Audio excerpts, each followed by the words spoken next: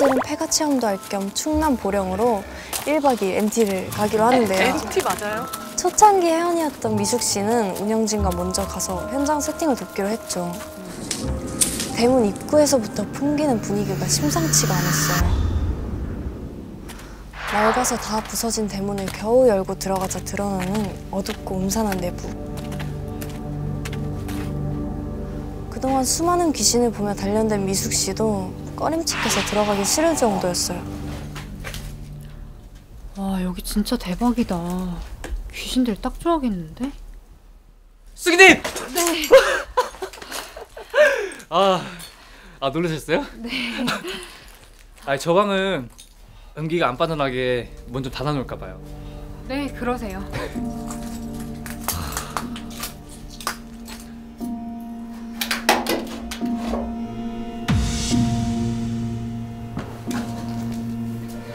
숙 씨와 운영진들은 다른 회원들이 다치지 않게 바닥에 있던 것들을 치우기로 했어요.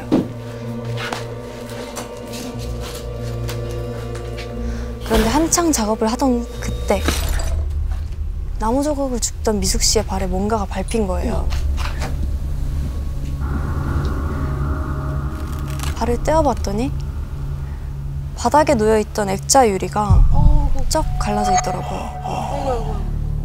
미숙 씨와 마주친 여자의 두 눈에서 새빨간 핏줄기가 흘러내리고 있는 거예요.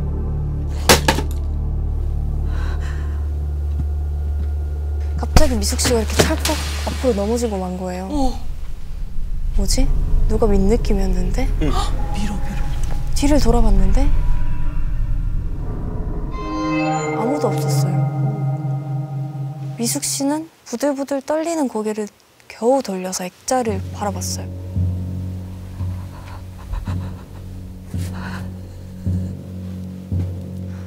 근데 방금 전까지 핏줄기가 막 흘러내리고 있던 액자가 멀쩡한 거예요. 그치.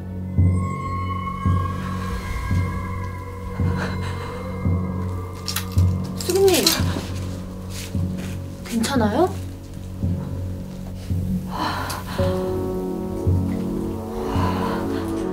아까부터 상태가 많이 안 좋아 보이는데 나가서 좀 쉴래요?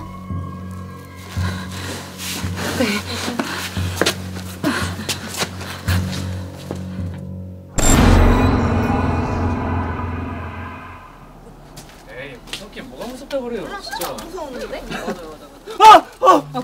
깜짝이야 씨. 아, 수기님 왜, 왜 여기 혼자 계세요? 아니 느낌이 좀 쎄하더라고요. 무섭지 않았어요?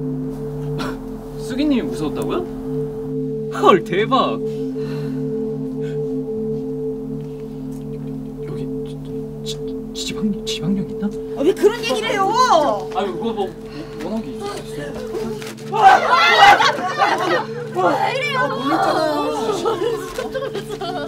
아, 놀래라. 씨. 회원님들은 어떤 귀신이 가장 무서우세요? 에이, 귀신 중에서는 처녀 귀신이 제일 무섭죠. 네 물귀신이 제일 무섭죠 에이, 물귀신이 뭐가 무서워요? 물귀신 제일 무섭잖아요 목 없는 귀신이 제일 어? 무서운 것 같아요. 어, 저도 그 비슷한 달걀 귀신 같은 거 그런 게 제일 무섭지 않아요? 엄만 많아가지고 진짜. 어, 제일 무서운 건 빨간 머스크지. 에이,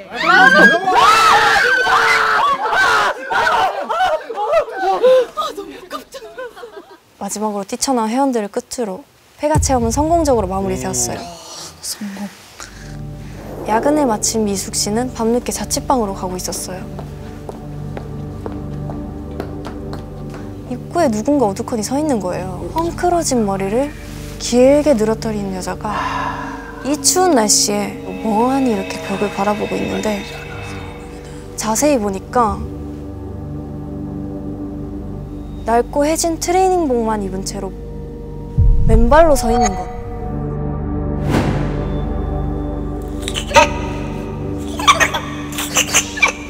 소름 끼치게 웃는 거예요. 이상한 일은 그날로 끝이 아니었죠. 다음날 그날도 10시가 넘어서 퇴근한 미숙 씨는 또다시 어디선가 킥킥대는 웃음소리가 들려오는 거예요.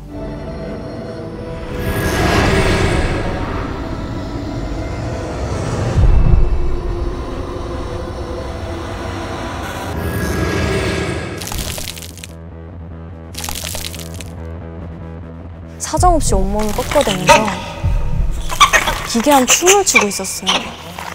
사람이라고 볼 수 없는 그 기형적인 몸짓에 미숙 씨는 이번에 확신할 수 있었죠. 저건 진짜 귀신이다. 다급하게 가방 안에 있던 작은 주머니를 꺼냈어요. 평소에 귀신을 자주 보던 미숙 씨는 그 안에 팥을 넣어서 항상 챙겨 다녔거든. 자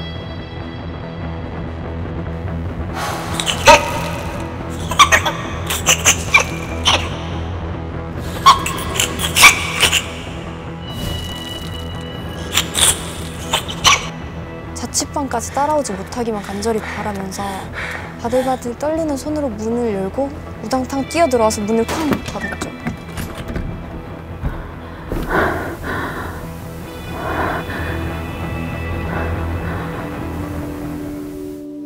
다행히 팥이 통했는지 귀신의 기척이 더 안 느껴지더라고요.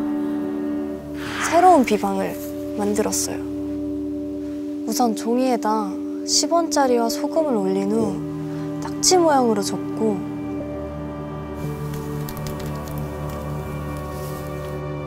그 뒤에 임금 왕자를 적어서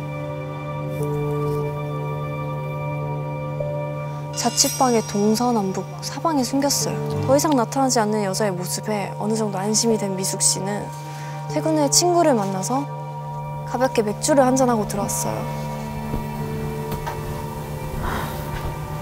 그리고 평소처럼 옷을 먼저 갈아입으려고 하는데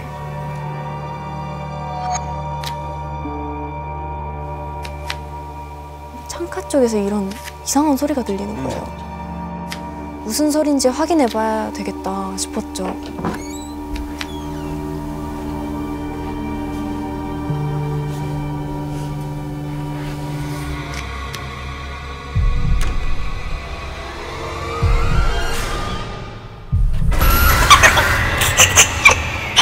여자의 얼굴이 거꾸로 있는 거예요.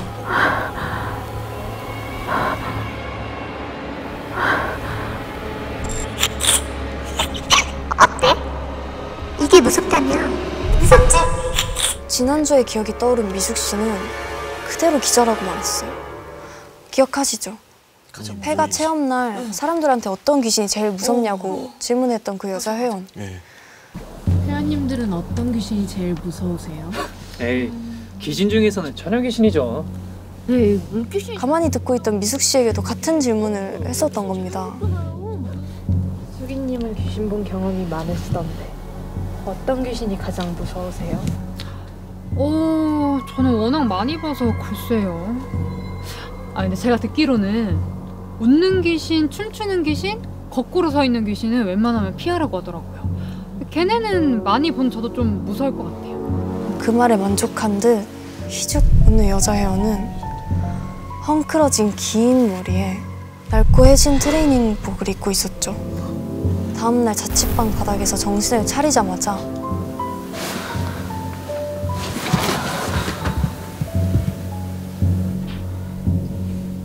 이숙 씨는 집안에 숨겨놨던 비방을 꺼내봤어요. 구리빛으로 반짝였던 10원짜리 동전들은 제 기능을 다한 듯이 새까맣게 변해 있는 거예요. 미숙 씨가 미리 만들어둔 이 비방 덕분에 다행히 그 여자가 집 안까지는 들어오지 않을 수 있었던 거죠. 제가 듣기로는 웃는 귀신, 춤추는 귀신, 거꾸로 서 있는 귀신은 웬만하면 피하라고 하더라고요. 그날 본 여자의 모습이 여전히 아직도 세상에서 가장 무섭다고 합니다. 장난 아니지 않냐? 오, 정민이가 호들갑을 떨며 사진 한 장을 보여주더라고요. 이곳은 바로 야경 맛집으로 유명한 대전의 식장산이었어요. 오 진짜로? 야, 대전에 이런 데가 있어? 실제로 보면 완전 대박일 듯? 대박 정도가 아니야 그냥 미쳤어 야, 그럼 바로 식장산 고? 지금 바로 고? 오케이, 진행시켜! 오케이 진행시켜 그 길로 바로 차를 빌려서 심야 드라이브를 떠났습니다. 항상 둘이 가던 여행에 그날은 일행이 한 명 더 늘었어요. 정민이랑 같이 알바하는 원석인데요. 저도 몇 번 본 적 있는 친구였습니다. 하, 원석이가 당황스러운 듯 질문을 했습니다. 야, 근데 우리 지금 어디 가는 거야? 뭐? 종민이가 얘기 안 했어? 우리 지금 대전 가는 거야. 식장산 야경 보러 가지로. 뭐? 완전 야경 맛집이야 진짜. 밤에 산을 왜 가? 나 내릴래. 왜? 야, 야, 야, 잠깐만. 아, 야 여기 고속도로잖아. 여기서 뭐 어떻게 안 간다고. 차 세워 빨리. 아, 왜 이래? 세워? 아니, 하지 마. 흥분한 녀석을 겨우겨우 말린 다음 야, 우리 이왕 이렇게 온 김에 그냥 야경만 보고 오자. 알겠지? 야경. 그러자 원석이가 알 수 없는 말을 하더라고요. 그래. 너희들은 좋겠다. 아무것도 안 보여서. 자정이 넘은 시각 저희는 내비게이션에 식장산 주차장을 찍고 밤길을 달렸어요. 드디어 산 초입에 들어섰는데 칠흑같이 어둡고 구불구불 가파른 커브길이 쉴 새 없이 등장했습니다. 야, 뭐야? 여기 왜 이렇게 으슥해? 우리 제대로 가고 있는 거 맞아? 야, 형 운전병 출신이야. 니들 오늘 나 믿고 따라오면 진짜 인생 야경 본다 오늘. 300m 앞 우회전입니다. 잠시 후 좌회전입니다. 내비의 안내대로 계속 길을 가다 보니 갑자기 비포장 도로가 나오고 억센 잡초들이 스치는 소리가 나는 거예요.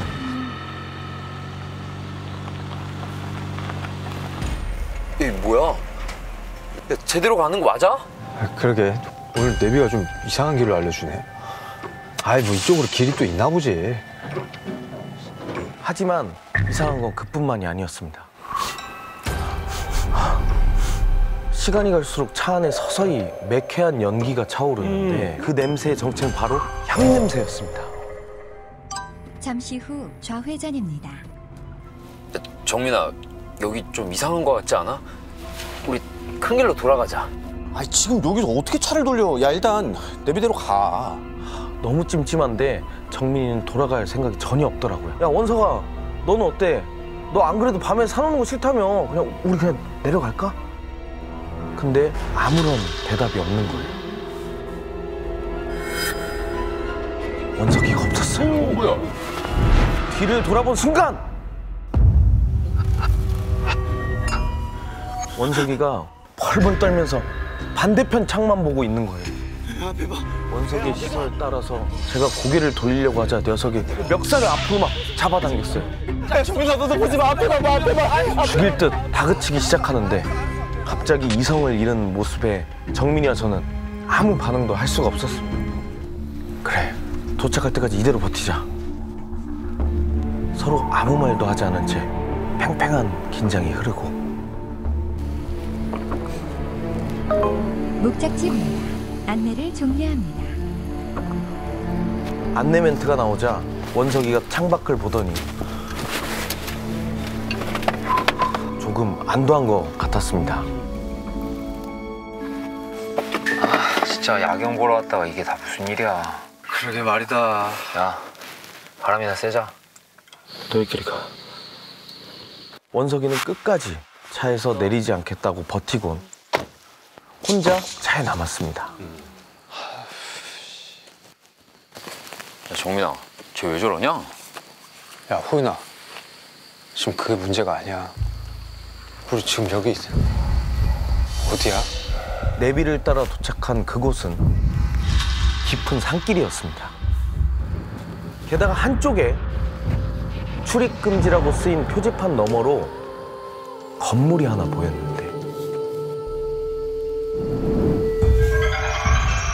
오래된 절이었어요. 왠지 모르게 쎄한 거예요. 정민아, 여기 좀 이상하다. 빨리 내려가자.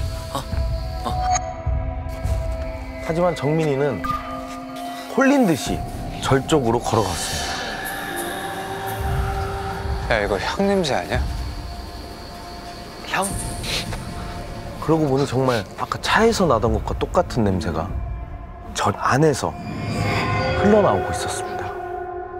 그만 가자고 정민이를 재촉했어요. 그런데 그 순간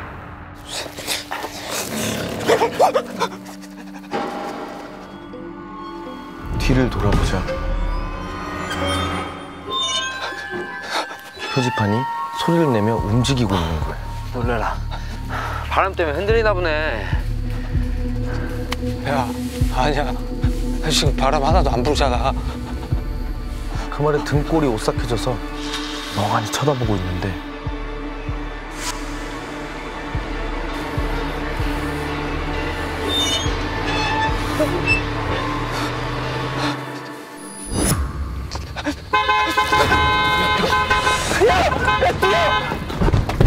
뛰라고!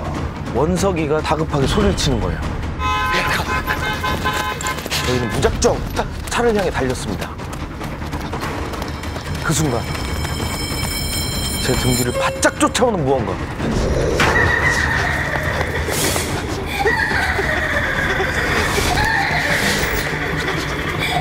죽을 힘을 다해서 뛰었어. 빨리 가야 돼 빨리. 빨리 가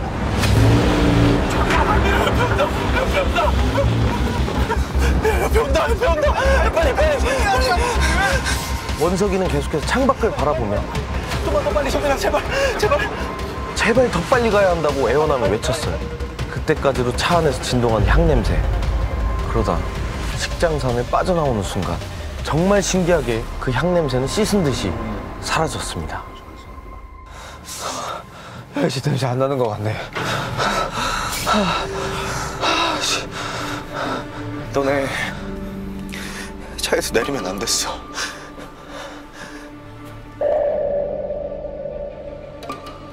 내비를 따라 길을 잘못 들었을 때 차 안에서 향냄새가 나기 시작했던 바로 그때부터 향냄새 아니냐? 냄새야 이거.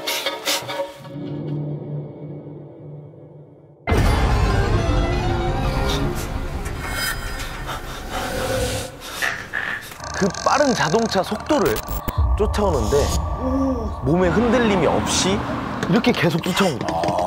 너 밤에 산에 가는 거 싫다며. 우리 돌아갈래? 눈이 마주쳤다간 홀릴 것만 같아 저희한테 앞만 보라고 소리쳤던 거라고 합니다. 야, 진짜 야, 앉아. 야, 알았으니까. 그러게 말이다. 일단 바람 좀 쐬자. 여자가 절 쪽으로 가다 내리자. 사라져서 안심했는데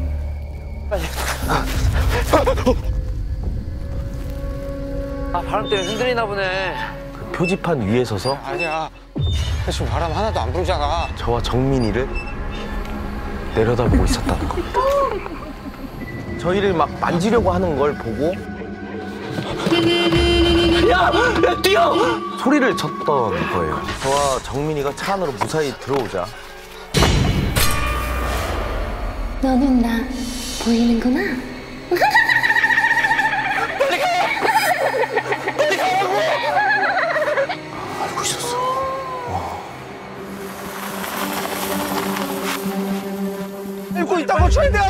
저희가 산을 벗어날 때까지 집요하게 원석이만 노려봤다고 했습니다. 그날 이후로 저는 밤마다 가위에 놀리기 시작했습니다.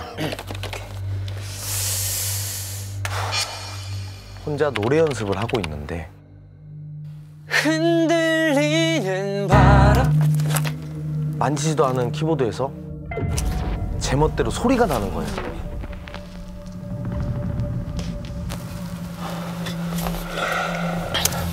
다시 정신을 다잡고 녹음을 시작했어요. 흔들리는 아무도 예전의 나를. 그리고 녹음된 파일을 확인한 저는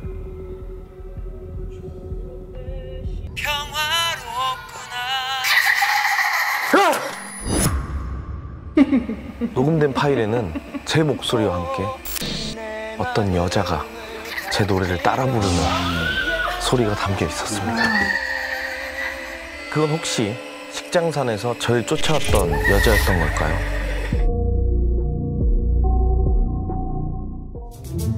대부분 1학년 새내기들이 그렇듯이 매일 뭐 부어라 마셔라 놀기 바빴죠. 야 니네 술 먹고 괜히 장난으로라도 안경공장 거기 가지 마라. 옆 학교 애들이 술 먹고 거기 갔다가 한 명 귀신 씌워가지고 완전 미쳤대잖아. 다른 친구들은 몰라도 저는 절대 절대 그럴 일 없다고 말씀을 드렸죠. 뭐 고스트 스팟 같은 곳을 전 정말 왜 가는지 이해를 못하는 사람 중에 한 명이었거든요. 그 후로 술자리는 계속 이어졌고 그날따라 흥이 올라서 술이 쭉쭉 들어가던 저는 어느 순간 술 기운에 잠이 들어버렸습니다. 야야 일어나. 아 얼른. 아 내려야 된다고. 몸을 흔들어 깨우는 동희의 손길에 눈을 떠보니 택시 아니었어요. 잠이 덜 깬 상태로 일단 차에서 내렸는데 감사합니다. 감사합니다.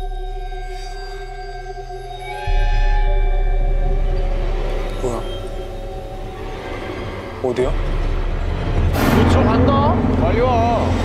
빨리 와. 아 신정, 너안 들어오냐? 우리 들어간다. 야, 그냥 가자.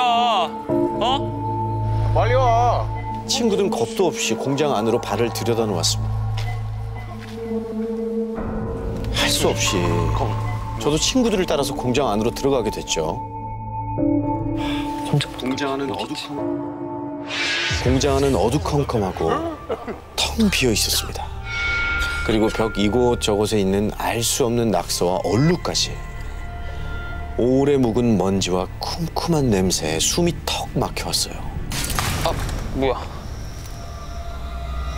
뭐 이런 데 거리 있어. 야, 여기 계단 있는데?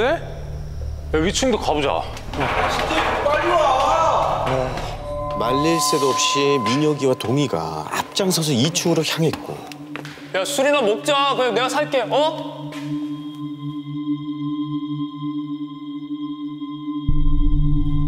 저와 진영이는 그 뒤를 따라 차례로 올라가게 됐어요.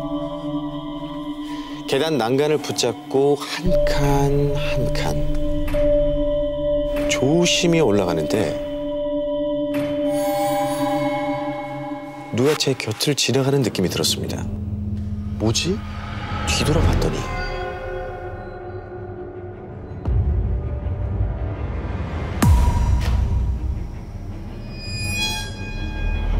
진영이 뒤로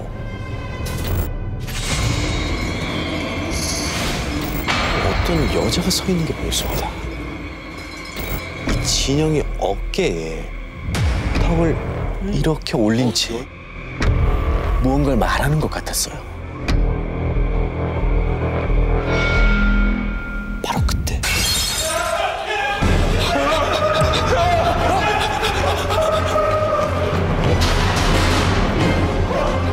그 모습에 저와 진영이도 놀라서 다 같이 소리를 지르면서 출입구 쪽으로 정신없이 달려갔어요. 저희는 택시에서 내렸던 길가까지 내달린 후에 겨우 숨을 돌릴 수가 있었습니다. 아, 진짜 쫄아. 갑자기 거리 왜 깨졌지? 야, 신재야, 너 뭐 본 거 없냐? 저 정도였으면 너 뭔가 봤을 것 같은데. 내가 그래서 오지 말자고 그랬잖아.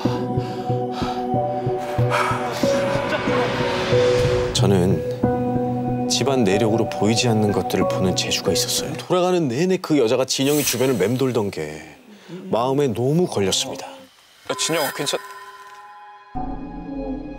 너도 들었어? 분명 셋이라 그랬던데.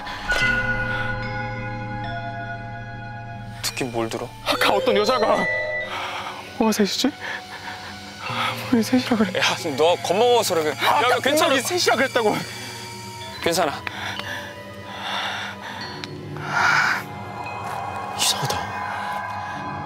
난 들은 소리가 없는데? 그렇게 그날의 일은 저희 사이에서도 술 먹고 한 가장 철없는 짓으로 여겨지면서 일단락됐습니다. 그렇게 몇 주가 지났고 드디어 종강. 오랜만에 술집에 모여서 놀던 저희는 이 차를 위해서 자리를 옮기고 있었어요. 야, 이 차 내가 쏜다. 이, 이자? 이자? 이자는 악영 공 장. 술 기운이 오르니까 자연스럽게 안경 공장 얘기가 나오더라고요. 야, 이 채빈이 형 위험이 새끼는 지가 먼저 도망가 놓고선 또 이래. 내가? 열방 가지. 어, 에 신호 바뀐다. 야 빨리 와.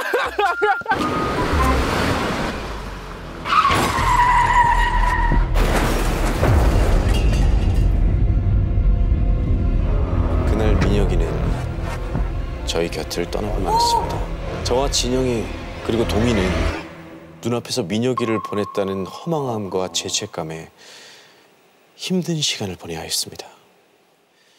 특히 진영이의 상태가 가장 안 좋았는데요.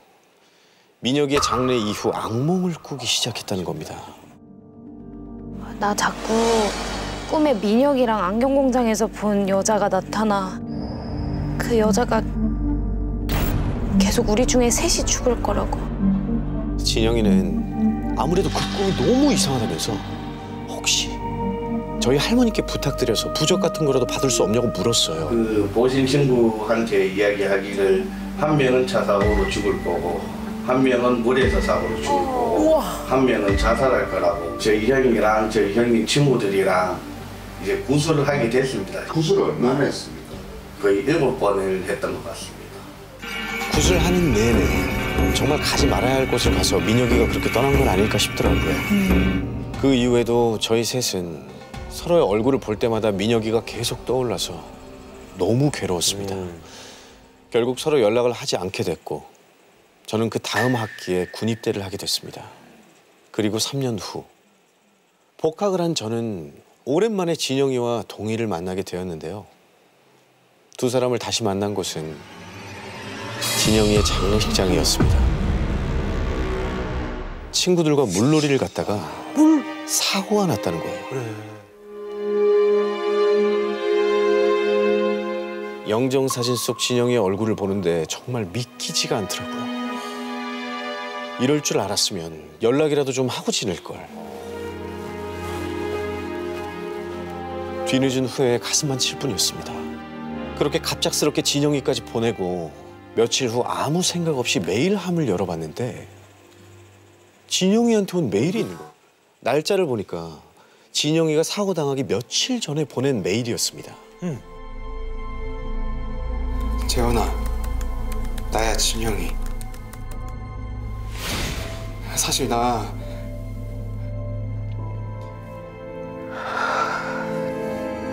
요즘 꿈에 자꾸 그 여자가 다시 나와. 매일 똑같은 꿈이야. 눈만 감으면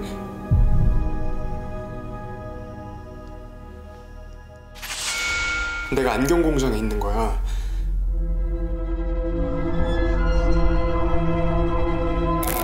거기다가 죽은 민혁이가 자꾸 내 앞에 서 있는데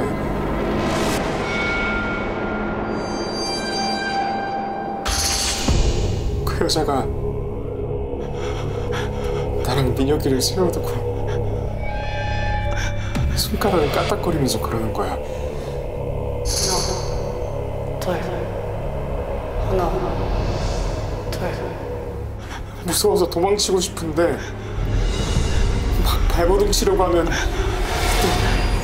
내 눈앞에 늘 똑같은 장면이 보여. 너랑 동이가 2층 계단에서 정신없이 뛰어내려오는 모습. 내가 너희들 보고 도망치려고 아무리 소리 질러도 소리가 안 나는 거 있지. 그때 그 여자가 내 귀에도 이런 말을 하는 거야.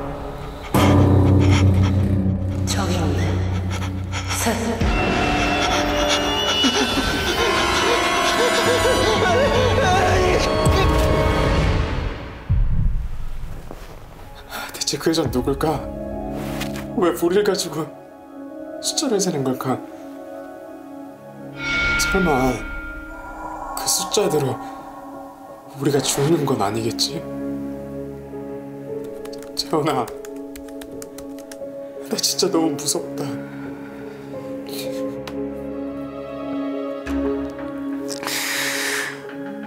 매일 보는 대로 연락 줘라. 기다릴게.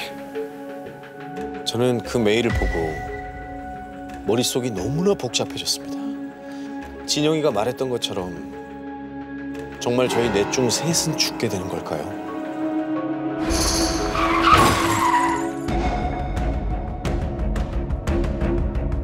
그렇다면 남은 저와 동희 중 한 사람은 곧 죽게 될까요? 제발 저의 추측이 틀렸기를 바랄 뿐입니다.